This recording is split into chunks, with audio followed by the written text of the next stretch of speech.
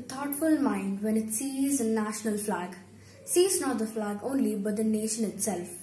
Strong we are, not weak. Love, peace, humanity are what we children of India seek.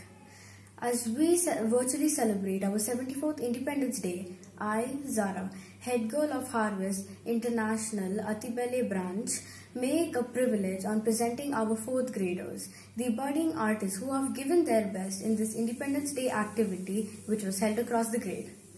The activity was to make a pulse art, tricolor theme painting or paper mache.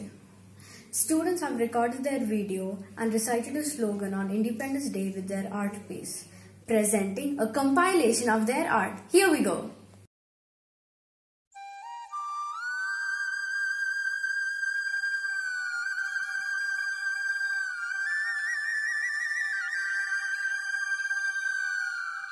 Oh!